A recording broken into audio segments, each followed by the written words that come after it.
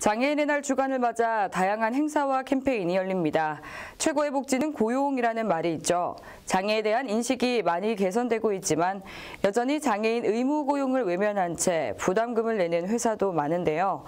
표면적으로 장애인 의무 고용률 채우기에 급급하기보다 장애 특성에 맞는 직무를 지원하는 등 장애 이해도를 높여 저마다의 능력을 누구나 마음껏 발휘할 수 있는 사회가 될 수 있기를 바랍니다. 이상 복지TV 뉴스를 마칩니다. 시청해주신 여러분 고맙습니다.